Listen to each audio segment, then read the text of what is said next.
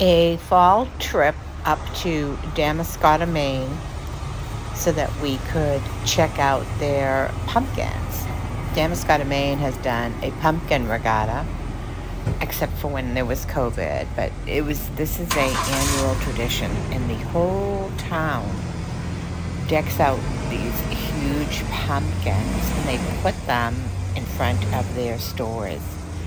It's really amazing to see the creative artwork. I will have to say that this one, I call it Queen Elizabeth one, with her corgis and um, corgis, I call them little doggies. I just thought this was so amazing. Absolutely an amazing display. pounds for this baby. So many beautiful displays. Look at the detail on this one. Look at the detail. Oh my gosh.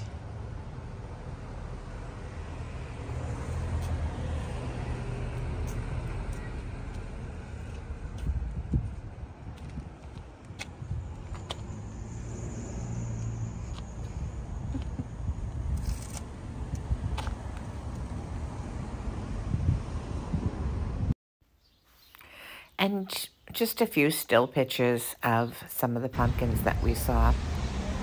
Just really awesome.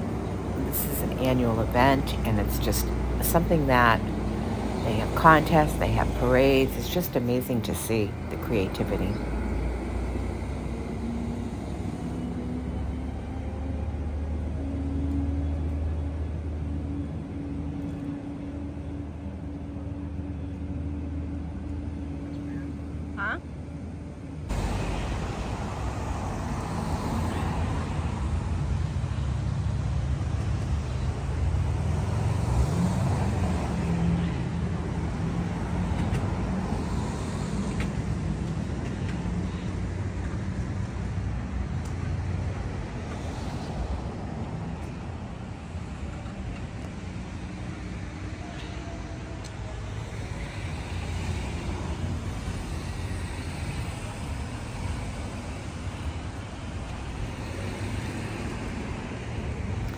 Think this year they had over 70 pumpkins on display, and they actually have hay bales all around the town. It is really amazing because, like I said, the creativity is incredible, and the whole town gets involved.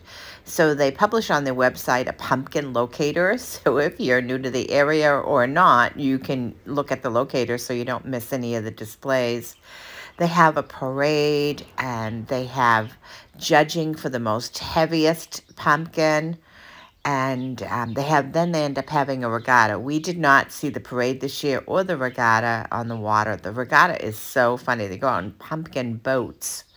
It's amazing to see. We've seen this in the past. So this is an annual thing that Jay and I really like to do. Oftentimes we we come up when we're camping over at Shore Hills in Boothbay Harbor and we just take a ride to Damariscotta. That's uh, really just uh, pretty close by, next town over. Lots of fun to see and to enjoy and just to walk around.